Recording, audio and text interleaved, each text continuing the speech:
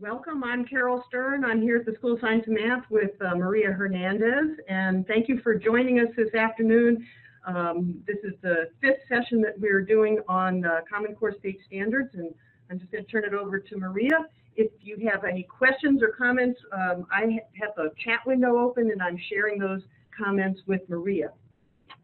So again, welcome. I'm Maria Hernandez. It's great to have you guys with us here um, this afternoon in this particular session, um, what I'd like to do is to talk a little bit about um, a particular hands-on problem that I've found um, that folks like because it's, it's adaptable in terms of using it across grade levels and courses. And so we'll consider a specific problem um, that I think and uh, we can tackle even in the eighth grade math classroom or maybe even seventh grade in terms of different kinds of approaches, and then we'll kind of um, also talk about it in terms of higher level math courses in Algebra 2 or pre-calculus, and it can even be extended to a calculus application. So um, I think I'm hoping that it'll be a problem that you find useful and something that um, you can do in your classrooms to help students get their head, heads around um, the idea of building a function or building a model using a function. So um, we're going to share lots of materials with you. I created a pretty in-depth lesson plan that has um, the, the lesson according to these different levels. I kind of split it apart. So the handout that you got from Carol yesterday um, is a student handout that will certainly be available. I'll give you the website at the end of this session. It will be available on that um, website. And take the shared content. So um, I'll give you um, the handout that's a student handout that again is based on different levels. We'll have this PowerPoint on it, so you don't have to worry about taking notes from the PowerPoint. It will have the in-depth um, lesson plan so that it has uh, possible solutions in there. And then also I have a Geometer's Sketchpad file that I didn't create, but when I did this problem in, um, in a hands-on session, one of the participants in there um, a woman named Greta Mills from New Hampshire created a Geometer's Sketchpad file that goes along with the particular um, problem that I think you will find useful in terms of visualizing the problem. So let's get started with the problem. So here's the problem. Um, if you're going to do this with your students, I recommend that you um, you give give each group uh, a pair uh, a, a wire so I've just got a wire here. And let me kind of hold this up against the background because I don't know if you can see it very well.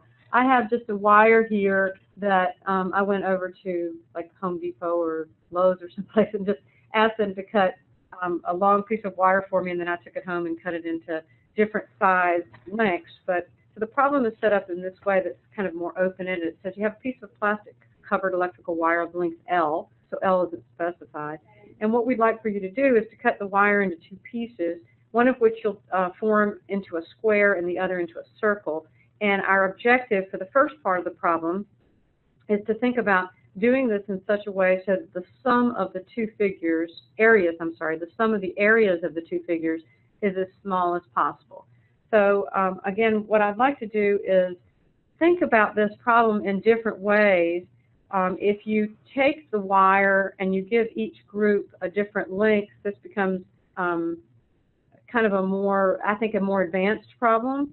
If you decide instead that we're all going to get, each group is going to get a wire of length 24 inches, then we can be more specific and approach the problem form from a more elementary level, if you will, in terms of the numerical approach. So I'm going to I'm going to suppose that we all have the same length of wire and that it's 24 inches long.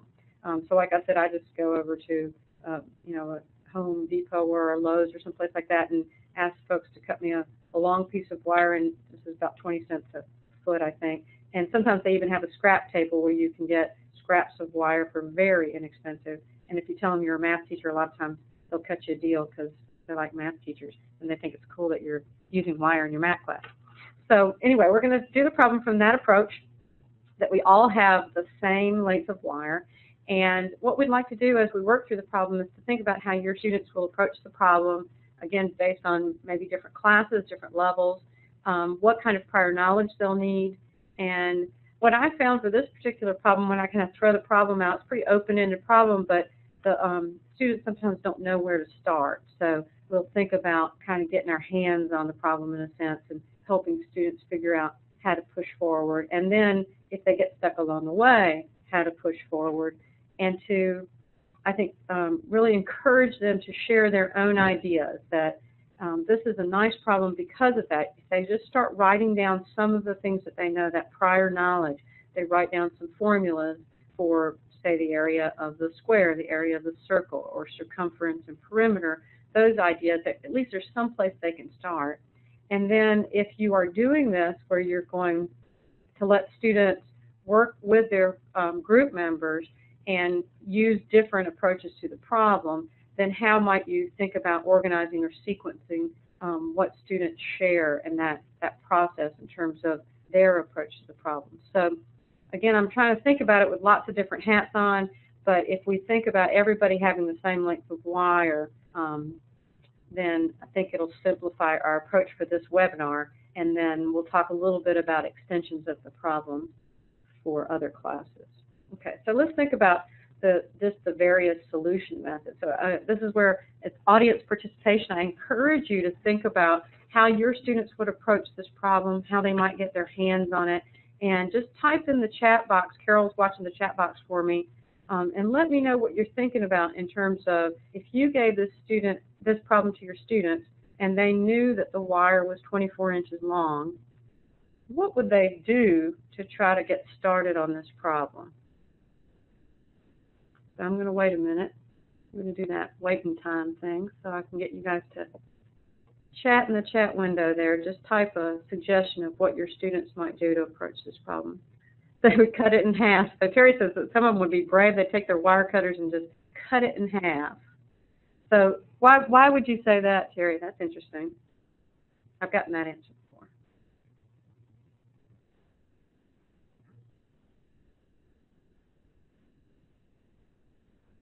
They always do. Okay, so they're kind of taking middle of the road then. So they're just saying, well, let's just cut it in half and see what happens, which is, it's an okay approach. We're not actually going to cut it. What, what we might do is we might encourage them to let's suppose that we did cut it in half. Let's calculate the area of the two figures and see what happens. Does somebody else have another suggestion besides this going straight for the halves? Start with the area just a circle and just a square from the 24 inch piece. Great. So that's really nice. I thank you for that comment. So what we've done then is consider the two extremes. If I only make a circle out of my wire, what will the area of that circle be? If I only make a square, what will the area of that square be? And now if we put it together with Terry's suggestion, we'll have actually three pieces of information because what if we cut it in half and made the circle and the square, what would the combined areas be? So in a sense, what we're trying to do here with your suggestions is we're building some, um, actually some intuition in a sense, what's going on with these different kinds of possibilities. So I'm going to take that, I'm going to say, if we have a, a level of student that um, maybe isn't familiar with functions, they might not go to the functions, they might do what exactly what you guys are talking about, and that is actually to think about some specific cases. And one way you could kind of organize those specific cases is to say, well, what I'm going to do is I'm going to divide the students up in pairs and assign each pair of students a specific length to use for, say, the perimeter of the square. That's arbitrary. I just decided to do it that way. And then have them calculate the combined area of the figures. So if you do that, and you have, say, 24 kids, then you should get 12 data points in a sense. We're going to build a table, um, a data set, and with that, because of the way I've set up the, um, the measurements, I could have said, for example, let's suppose we only make a square, like someone suggested, and then what if we made a square with only two inches of the wire, and then what if we made a square with four inches of the wire, six, etc.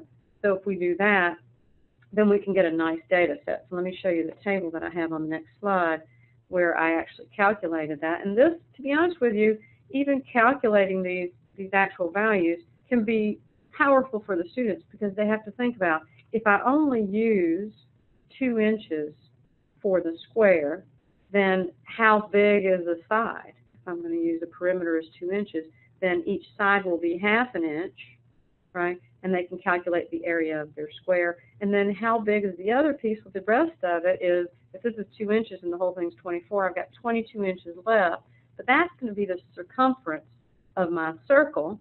So if I've got the circumference of the circle and I'm looking for the area of the circle, what I'll need to do is take the circumference, which is 22 inches, and figure out what the radius of my circle is. So they're going to use that circumference formula to figure out the radius. And then once they have the radius of the circle, they can calculate the area of their circle. So just kind of collecting that data as um, a class and have them write those points on the board can be a nice, just a nice quick way, maybe not so quick, but um, a nice kind of hands-on way where they actually get to calculate some values. Now, um, when the, actually the extreme pieces in terms of only making a circle and only making a square, that we'd like to tell the kids that is a possibility that you don't have to cut the wire because that, that is one of the questions that comes up. Okay, so here's my table, and I have a handout with, like I said, with this numerical approach. So one of the things we could do is we could take this data set and put it in our calculators. I'm not going to do that right now because I'd like to be able to talk about some of the other solutions. But if we put that in our calculators, then we should get a nice graph. There you go. There's a graph of that data set. So once they, the kids have this data set, which will take a little while to put it all together, we get the kids to make the calculations, put it up on the board. If the kids are familiar with putting in the data into the stat list editor in their calculators, they could type in the um, independent variable, that is L1, the way I've got it graphed here, is going to be that X, which is, remember, the piece of wire that I'll use is the perimeter of the square. And then along the vertical axis, you can ask them, what does that Y value mean? and hopefully they'll understand because we built the table, that the y value is actually the area or the combined areas of the two figures. So what would your students do at this point if we had this on the board and we said, now remember what we're trying to do, we're trying to create these figures so that the combined areas, the combined area is minimum, the minimum value. Suggestions about what your kids might do at this point. And again, it might depend on what courses you teach. Somebody said quad reg. Yeah, that's one of the things I'd had on the table too. So they might just push the quadratic regression button. Other suggestions? So if you think about this, if they've just got the data set, there's a suggestion about using the second calc minimum, which is certainly a, um, an option on the calculator. But I'd like for you to think about if you only have a um, scatter plot on, you don't actually have a function. I'm just going to look real quick, make sure this is what is true. I'm going to turn a scatter plot on just on my own calculator here because I happen to have it here in my hand. And I'm going to see if that second calc feature is something that actually works if you only have a stat plot on.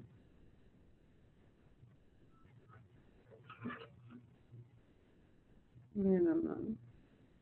Yeah, if I only have a stat plot on and I try to choose that, nothing happens.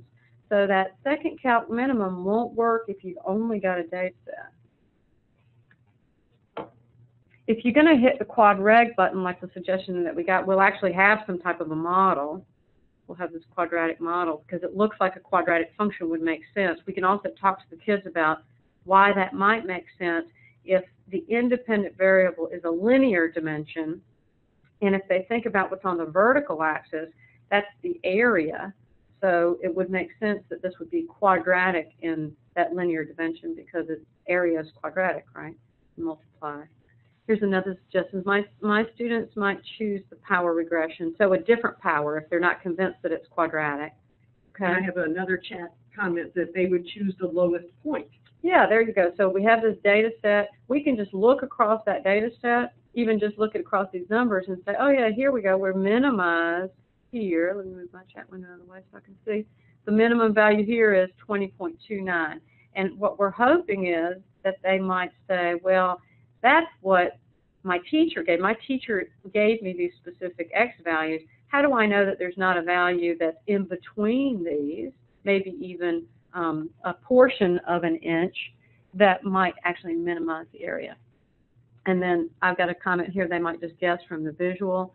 So these are all good comments, and what we'd like to do is to kind of lead them, dep again, depending on the level of the student, to think about things that go beyond just the particular data set, because I just chose these increments of two, because I thought it would make sense to, um, to have 12 data points, depending on the number of students I have. So that's those suggestions that you guys gave me, I actually have here. What we have here is uh, possible transformations of functions. Nobody suggested that, but you could say, if you think the function is quadratic, could you take our basic parent function of x squared, if you're doing this with the Algebra 2 students, you could say, what if I take my parent function x squared and try to use transformations of functions to push it over to the right and up, and then also try to think about expanding it in the right way so that we have either a horizontal um, stretch or a vertical compression. So I think that in itself could be kind of an interesting um, exercise for the students if that's what your goal was for this particular lesson. Um, I'm not going to go go from that standpoint because I want to think about it in terms of um, of other kinds of approaches, but that certainly is a, a reasonable thing to do if you were doing this with transformations of functions. And if you do that, you might think about, well, how will I know how far right to shift it and how far up to shift it if I don't really know what the vertex is? That's why I'm not knocked out about that approach because our, our objective is to find the vertex if you believe that this is quadratic. So what I'd like to do is take the other suggestion that we got, and that is use a quadratic regression. So if you hit the quadreg key and your students are familiar with that, then this is what the calculator produced for me when I hit the quadra quadratic regression. So again, depending on your on your um, goal for the for the lesson, this could be enough. You could say, well, I just want them to understand that it's a quadratic. Use the machine to get a quadratic regression, but you can still ask some interesting questions here. You can type this in your calculator, and then you can use the minimum key. You could also say, well, let's just try to make sense of some of these values in here. For example, this 45.85, you could ask the students, what does that 45.85 mean in the context of the problem? So again, there, I think there are different approaches, and, and depending on your goals for the lesson, you can let your kids go in those directions. So um, I'm going to keep moving because what I'd really like to do is think about it from a higher level and say, what if we actually want to build a function? But I will say that if you have um, students at these other levels that we've been talking about, you could take it from here and still finish the problem, right? You could still minimize this function, hit the minimum key, and figure out what the x value is. And then again, there's still lots of interpretation to, to be done because you have to say, what does the x represent? Remember, for us, you have to keep reminding the students that x, it's important to define our variables, x is the length of the wire that I'm going to use for the square. So once they know that perimeter of the square, they can go ahead and cut the wire. So you bring your wire, cut, wire cutters in, have them cut it, and then go ahead and make the figures, the two figures. When they do that, they're going to see a beautiful geometric relationship that I'm not going to talk about just yet, but even at this particular point, this geometric relationship comes out. And it's true that the geometric relationship will hold no matter what the length of your wire is. So this is one approach that we chose to have everybody have the same length of wire because it lends itself to this approach where we create a data set. If instead you gave each group a different length of wire and say you were going to build your function in a different way, then we wouldn't build the data set. It wouldn't make sense to build a data set in that, that way. But instead, we would need a function. So it actually kind of um, gives the students some some motivation to seek a more complicated or not maybe not complicated but a more um, sophisticated solution method. So if you give everybody a different length of wire, then we can't really create this data set per se, but instead let's think about it from a function modeling approach. So if I go back to thinking about building a function, i have drawn the picture here, and again, this is um, arbitrary the way I've decided to to state this specifically. You might not do this depending on um, the level of students. You might just let kids start writing down formulas for the area of a circle and the area of a square and then relate it to the perimeters here that we're talking about. So this is just one approach. If I let x be the piece of wire that I'm going to use for the square, just kind of going back to the other problem, then the, the rest of the wire is going to be used for the circumference of the circle. So I can find the area of the square because the perimeter is x. So I'm going to take x and divide it by 4 and then square that amount. That's, that'll be the area that is the contribution from the square. And then the circumference of the circle the rest of it. So it's 24 minus x. And the area of the circle, well, we know the area of the circle is pi r squared, but I need to be able to get r in terms of x. So if I go back to the idea that I know what the circumference is, the circumference is 2 pi r in general. I know that's equal to 24 minus x, and I can solve that for r in terms of x. So we've got the makings of a function now, a function that will be representing the combined area of the two figures, and that function is our model. So we're going to say area is um, uh, x over 4 quantity squared plus pi times the quantity 24 minus x over 2 pi squared. Now again, that's not the only way to do this. If you did this in a more open-ended way, then you would let kids get to this point via their route. So um, if instead they let x be the piece that they use for the circumference of the circle, this of course this wouldn't make sense. It's a different function. Or if in, I've seen kids, for example, write down something like um, the area of a square is s squared and the area of a circle is pi r squared, and then go from there thinking about which of those pieces would be useful in terms of perimeters and the circumference of these two figures. So this is just one particular idea. If you give kids wires that are different lengths, then this 24 up here will change to whatever the length of their wire is. And this will be more powerful, I think, if you do give kids different lengths of wire because they'll they can see that this function is something that's uniform and what changes about it is this parameter, this 24.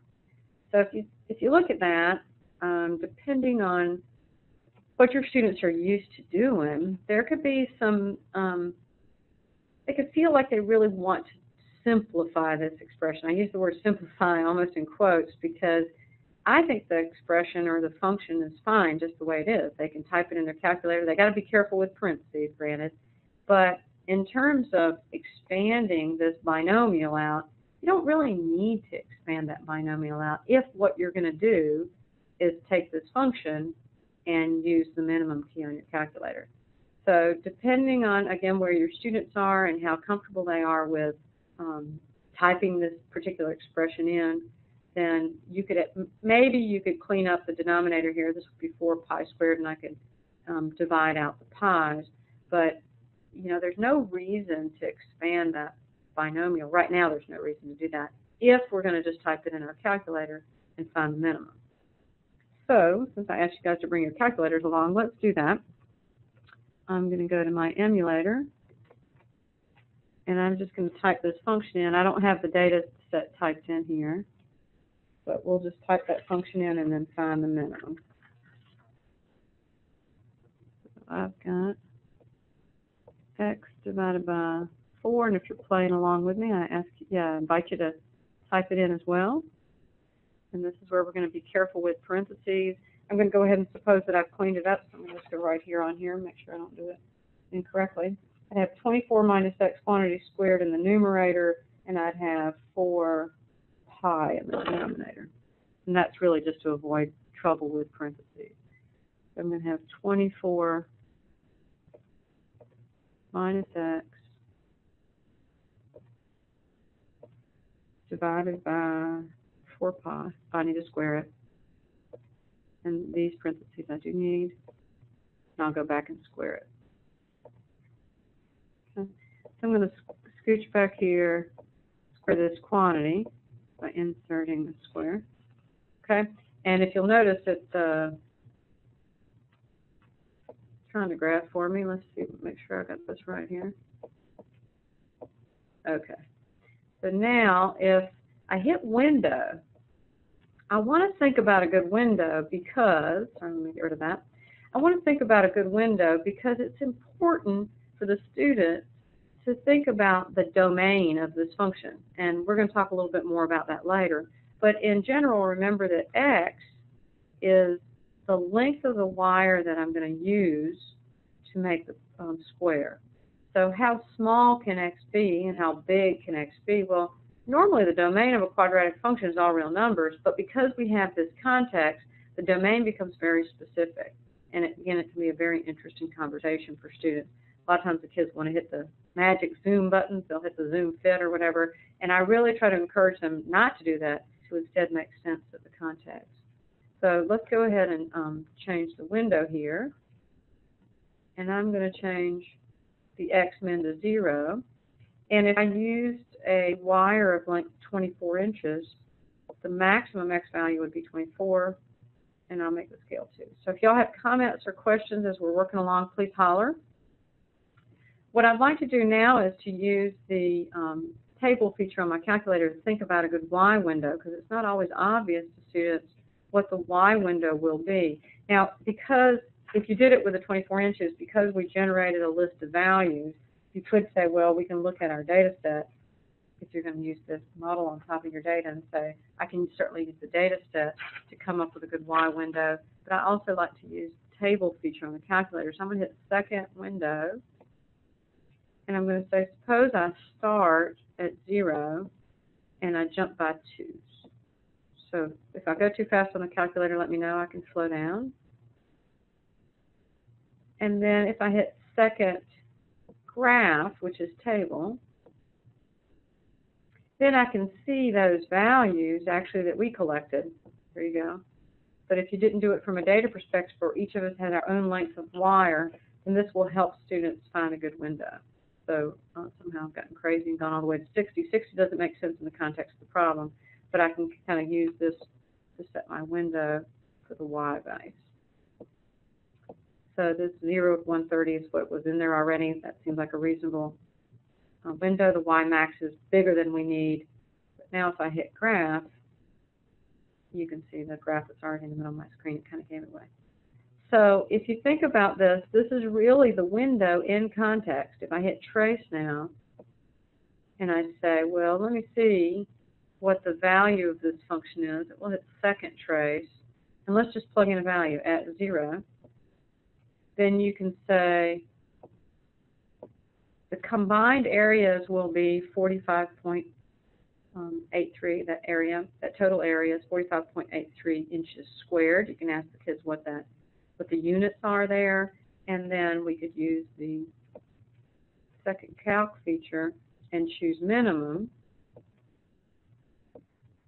And when you do that, it's asking for a left bound. So I'm just making sure that I'm to the left of the minimum. I'll hit enter. And then it's asking me for a right bound. I'm going to scroll to the right until I'm to the right of the minimum.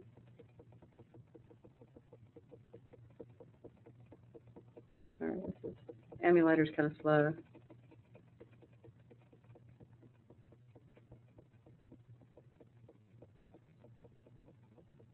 So until I get to the right of the minimum, which looks like I'm going up now, I'll hit enter there.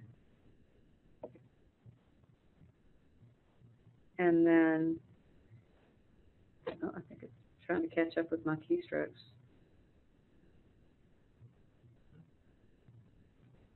There we go.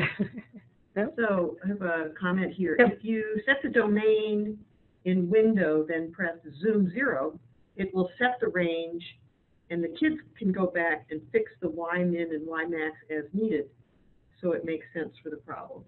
Yep, that's right. So a lot, the Zoom Fit, again, I'm not crazy about using the Zoom, but they really like Zoom Fit. So the, the advantage of that, that is that at least they have to think about the domain of the function, and then they can tweak it after they get some kind of a sense um, for those values. But also, I like to look, have them look at the table of values as well, because the table's always there, and you know what's happening when you look at the table. My kids do like Zoom Fit. So I'm going to go ahead and hit enter here for the guest.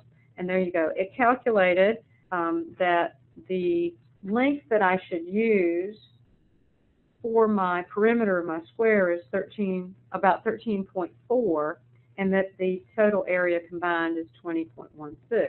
So if you were going to, if you were going to stop here, I would think that it would be very important for the kids to sketch a graph of the function, to label the axes with words and units and numbers, and then to label this minimum value and write a sentence that explains what's going to happen in terms of this point that I see on the graph. They should be able to say, okay, now I'm ready to cut my wire. I'm going to measure about 13 and a half or so inches for the um, perimeter of the square, and then the rest of it is going to be my circle, and then they can go ahead and make their two figures. And again, if you have different groups with different lengths of wires, of course, their answers are going to be different. And actually, um, on the lesson plan, the other thing I just thought about is if you do want to use this as a writing assignment um, where they actually build the function, I've provided a list of expectations if you wanted to do kind of a, like a uh, just a short project or a writing assignment for the kids, a list of expectations that you might want them to include in a, in a report, and then also a sample rubric. Um, that I think it's important for students to have the opportunity to write about mathematics and not just think about math as a, a list of formulas and facts, but instead of a, a tool for solving a real world problem. So when they have to think about standing back and looking at their process, um, being able to put all that stuff together and write you a short report, maybe together with a partner, so that they have somebody to bounce their ideas off of, can be a very, um, I think, a powerful thing. So at this point, then you be ready for, to let the kids cut their wires. So when they cut their wires, and again, if everybody has a different length, this can be very powerful because if you make the two figures, one thing that's very interesting that happens in this problem is that when you're minimizing the sum of the areas of the two figures, no matter what the length of your wire is, you will always get this beautiful geometric relationship. I hate to ruin it for you, but I'm going to show you up here. and it will be such that the circle will be inscribed in the square. So some folks might think, well, I know that the circle will max, if I just make a circle, it will maximize the area. Some people might say, well, that, that might mean that if I just make a square, it will minimize the area, but that's not the case. Instead, you get this beautiful geometric relationship. So I'm showing you a pretty big one here. I even have like a really tiny one here because I gave some other kids a smaller wire. And if you get all of the kids to hold up their circle and their square and show that the circle is inscribed in the square, it's a pretty powerful notion. So I just wanted to show you that because I think it's great for the kids. Okay. So let's get back to the PowerPoint. Are there questions or comments here for what we've done so far?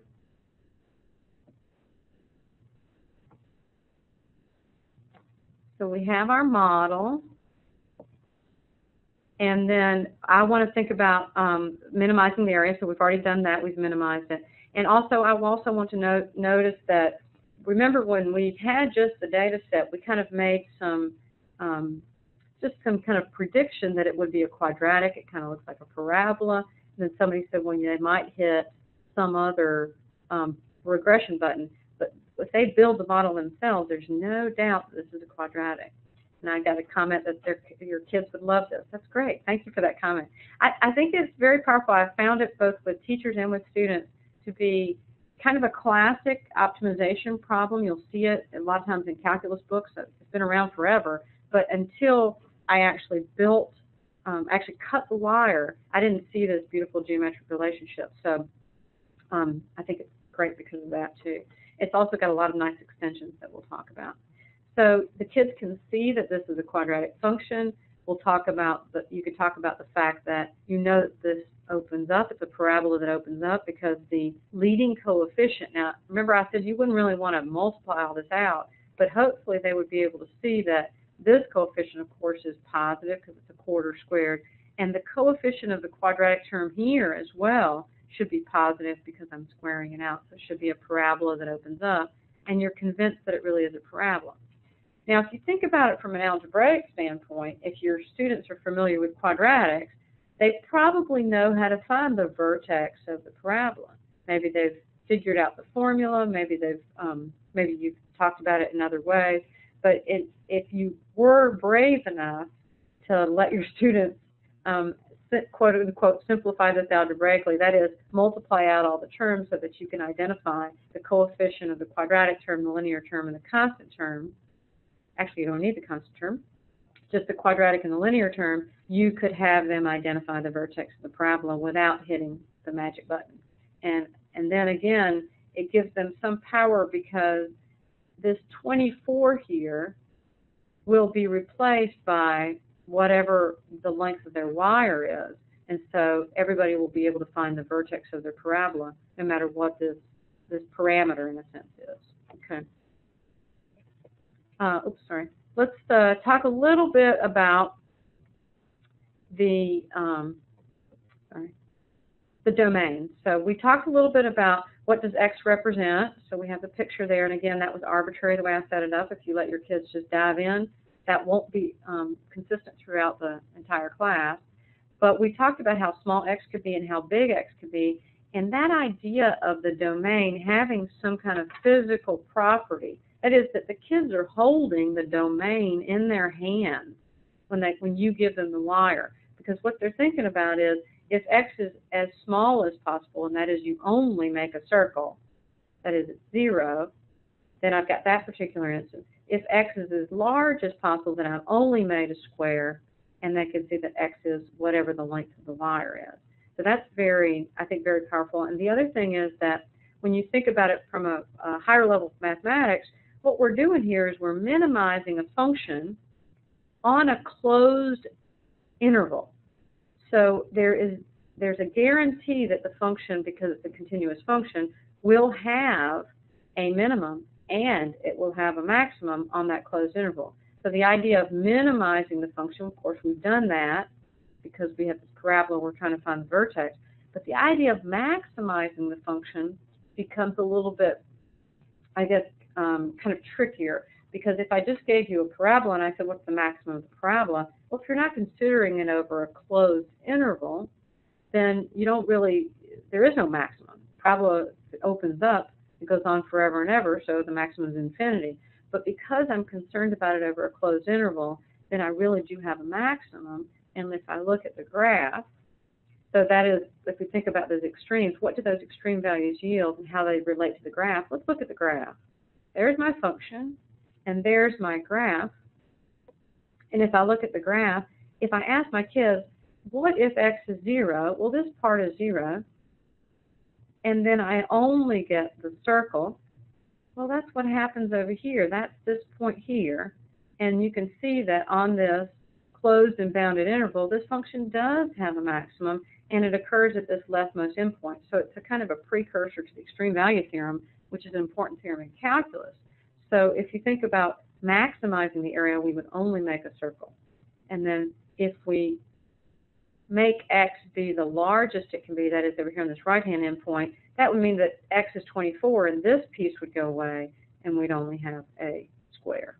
So I think, it, again, it's got a lot of nice representations here. I've got the geometric representation here. I've got the function.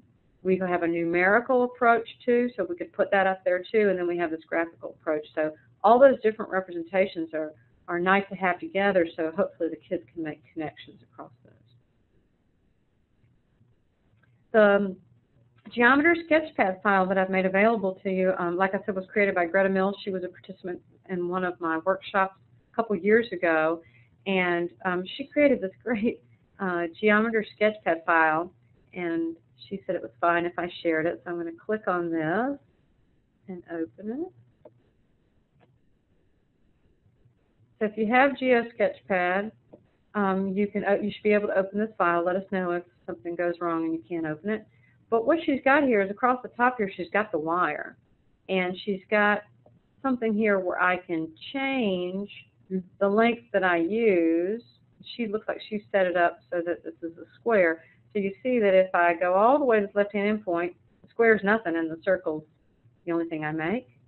And then she's also got this green function across here. That's the combined area function. And if I go all the way to the right, you can see that I use the entire wire to make the square. I don't know what she used for her entire length of the wire here. And if you just want to ask the kids to kind of scroll until they're trying to minimize this this value right here, this 10.52, we're keeping our eye on that.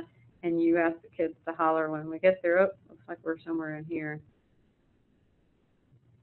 Ten point four eight, oh, so maybe for this one, I've got ten, the sum of the areas is ten point four eight.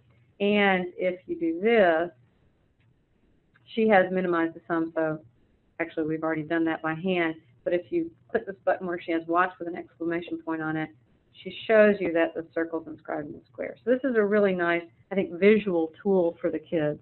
Um, and then you're welcome to use that. So that's available for you.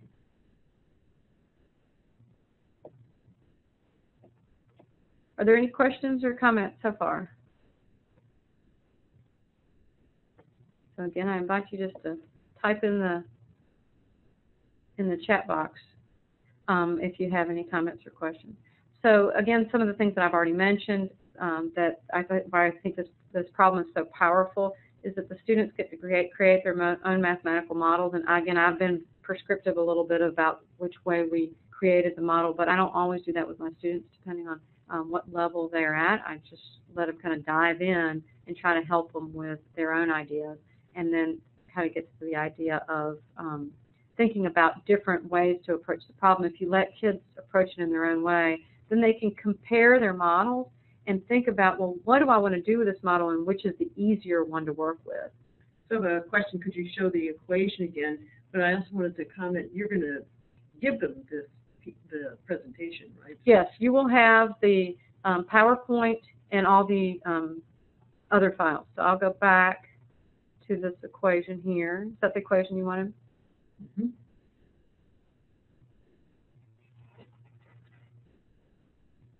Okay. There was a, a comment about not expanding the polynomial because yeah, because it depends on what you want to do with the mathematics. You know, if you're at a point where we're, we're building the function and trying to make sense of the function, there's no reason to expand it. In fact, if you expand it, you might lose some information that, that kind of hits you over the head here. You're looking at this and you say the, tell the kids, what if x is 24? They should be able to say, wow, if x is 24, that numerator is 0, which means I don't have a circle. If you put, you know, if you write over this, this is the part that is contributed by the circle, and this is the part that's contributed by the square. Similarly, if x is 0, what's going to happen? If I squared all of this out and combined like terms, you, would lose some information. And I think that's kind of a powerful notion, too, because, um, you know, we do spend a good bit of time getting students to be um, comfortable with those algebraic um, processes, but we also want to be able to say, if you're using it to do a real world problem, you don't necessarily have to do that as an exercise. Um, if you think about this from a calculus perspective, if you want to extend it to calculus, this 24 here would be a parameter. We could call it L. That's why I've introduced the problem, um, not specifically in terms of a number there. And if you do this in terms of the parameter, then of course we still get this function, quadratic function with a parameter in it, and the kids have to make sense of the fact that x is the variable and L is fixed. L is L is governed by the piece of wire that I hand you. So when you try to think about minimizing this function on the closed and bounded interval, if you're a calculus student, you might take the first derivative and set it equal to zero, and then you'll get some x value that will be, in this particular case, the perimeter of the square. And then when they figure out what the rest of it's going to be in terms of the circle, it might not be obvious that the geometric relationship that I showed you is there unless they actually solve for the length of the side of the square and the length of the, uh, or the radius of the circle. Because then what they'll see is that powerful idea that the length of the side of the square should be two times the radius of the circle. So that's kind of nice. Also, even if you didn't do it in terms of calculus, but in terms of pre-cal, if you wanted to find the vertex of that parabola, you can still do it in terms of either, um, you know, thinking about minus b over 2a or using your calculator, and they can still see algebraically that if they figure out the radius of the circle and the length of the side of the square, the radius should be half that that length. I have a comment. Um, is this a performance task that you would recommend using in a remediation type class? Uh, I don't think so. I think that if you were going to do this, you you would probably want to think about it as some kind of a, a collective group effort if you were, especially if you were thinking about, in terms of remediation, what you might be thinking about is, can my kids actually approach this open-ended question and get their hands on it in some way? So that idea of being more specific and saying, each pair of students, you do this task, um, just to be able to find the combined areas, and then let's put all that information together. So it would be more kind of a, a culminating experience in a sense, instead of a specific, um, can you do this one particular task, one, another particular task, because I think that, um, you know, again, if you're trying to lead kids in one particular direction, then it would be kind of, I'm doing a piece of an important big project as opposed to I'm just doing one specific thing and that's all you're testing is that one specific thing. It's kind of, can I move forward and get my hands on this? And then after we collect the data together, what do I do with that? So I think of it as more kind of an open-ended kind of a, almost a lab um, activity in a sense. So let's keep going here just to, um, to think again about if we're going to reflect on the problem. Um, we've talked a lot about the domain and making making um, sense of the pieces of information in the context of the problem, and then of course the extreme cases such as the physical constraints. When I talk about which form might be easier to use, because I was specific in my approach, that might not make a lot of sense here, but if you did leave it as a more open-ended um, task where you let kids build their own models, then it, it, that might that that will make more sense because if you have a student that set up the problem in a different way, um, then they can compare their final model to somebody else's and say, I know I like your model better, let's go with that one. Okay. More things that are powerful about the problem, of course, that beautiful geometric relationship that emerged from the specific problem that I had no idea was, I did this problem for 20 years before I saw that, that relationship, and that it can, like I've mentioned, it can be extended to calculus um, and show kids the power of parameters. Um, another thing I think that is um, interesting in terms of an extension is that you could ask the kids, what if instead of making a circle and a square, if I made a circle and an equilateral triangle? So if you think about it from that perspective, let me go to a escape out of here. I think I'll probably have to escape. So a comment here, Mhm. um, how about having some students work it numerically, graphically, while others work it algebraically? Yeah, that would be great. So again, depending on kind of differentiated instruction where your kids are, you might say, yes, you really want to get your hands on it. You guys do the numerical way, and then we can compare our model to our data. That'd be that'd be very powerful, I think, for students. And then that goes back to the idea of if you're going to if you're going to have kids do it in um, those different types of approaches, if you're going to share out, you're going to actually have kids come up to the board and share what they've done, or if you have a document camera, show show what they've done. Then you, as the leader of the conversation, you can think about how um, you would kind of, you know, layer those approaches. So you might have the numerical folks come up first and sh share their data set, and then you'd have the function folks come up next and put it all together.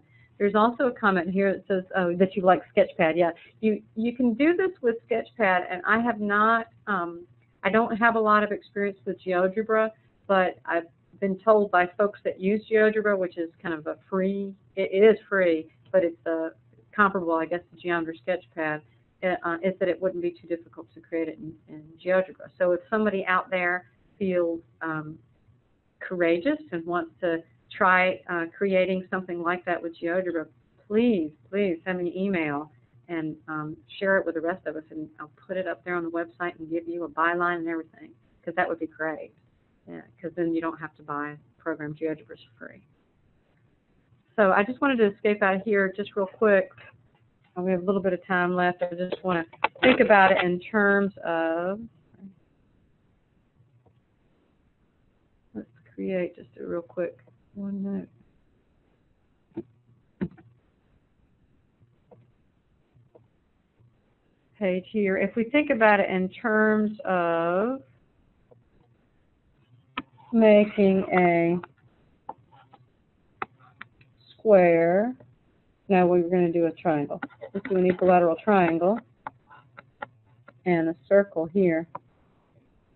Then if I let x be the perimeter of the triangle, and then say 24 minus x be the circle, then what I need for kids to understand is to how to find the total area here, we'd need the area of the triangle plus the area of the circle.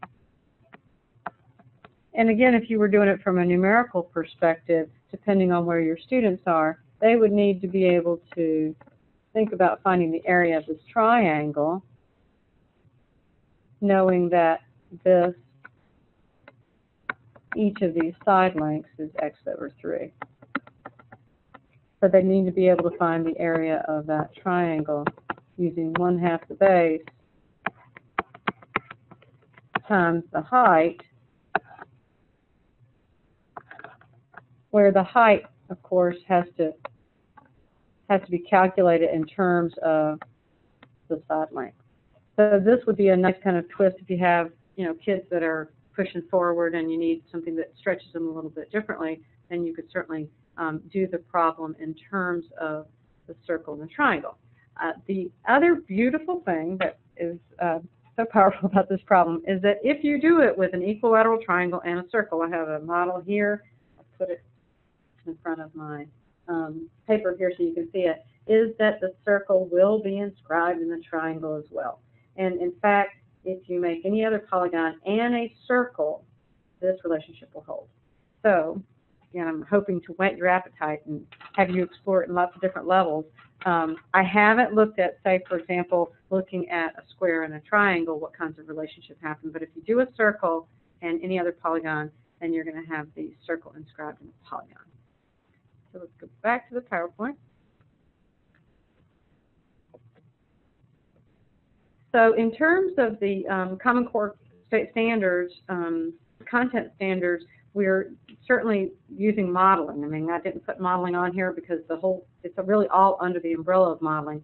But if you're, you're thinking about writing the function that describes the relationship between two quantities and combining standard functions, if you use transformations of functions, like I mentioned before, then of course you'd be thinking about taking a data set and trying to manipulate x squared in terms of the transformations, um, horizontal shifts, vertical shifts, compressions, etc., to fit that that um, data set. And then for geometry, there's lots of nice geometry properties in here too. And then, like I said, of course, for modeling, um, it hits a lot of the content standards. If you think about the, um, sorry, these are not the content standards. These, these are practices. This is the mathematical practices.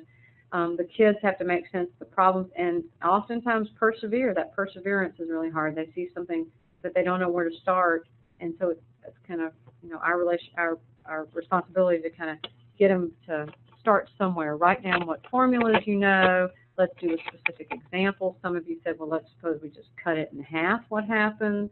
Um, some of you said, let's look at the extreme extreme values. So that gives kids an opportunity to kind of jump in wherever they are, and then you can hopefully push them forward.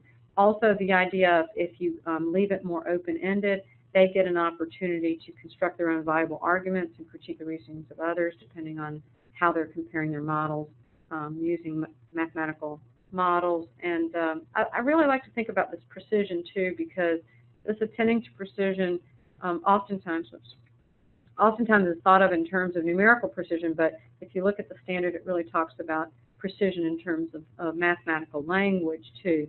So we can use the mathematical language of domain and range in context. We can talk specifically about how you're going to define your variables and how you're going to write the area function in terms of that variable. You know, the, the more the kids have an opportunity to express themselves and communicate their ideas with that precision, the better off I think they are. So I think it's a nice problem in terms of mathematical practices. Um, here are some resources for teachers. Um, I actually gave a, a talk at the Teaching Contemporary Mathematics Conference in 2009, which is a conference we have here at North Carolina School Science Math.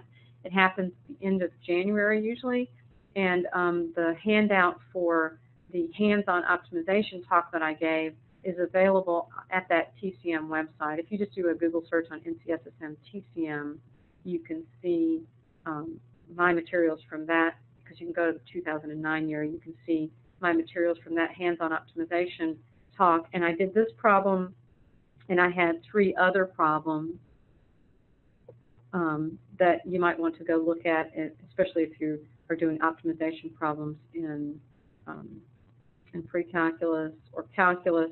The other problems, I think, are a little bit more challenging because one of them is um, one of them is a three-dimensional problem that you have to think about a vertical cross-section.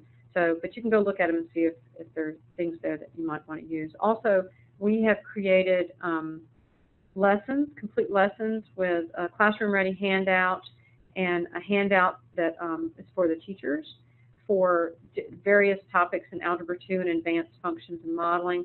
So if you go to either one of those websites, then um, you can see those materials there, and they're divided up by topics. So if you're studying exponential functions and you're looking for a data problem with exponential functions or linear functions, et cetera, um, across those different courses, you might be able to find something that's very useful. One resource that I did not list here um, that I that I've just been exploring recently is are the NCTM core math tools. So if you go to the NCTM website and you pull down the core math tools, those are the Java applet, I believe, that you can pull down onto your machine, and it has lots of data sets in it and some um, different kinds of tools. And I've just started exploring those, but I found them to be very useful. I've also put my email address down there at the bottom. Um, so like I said, if you create a GeoGebra file or you use this and you have questions or comments, or if um, you know you have some other problems that you want to share, please feel free to send me those via email and we'll post them and I'll um, make sure and give you credit for those. Um, in terms of these sessions, we haven't set the, the, dates for these yet. They're still up in the air. Um, so we're thinking about late March, March 25th, and then the late April session, April the 22nd. That'd be after the NCTM meeting.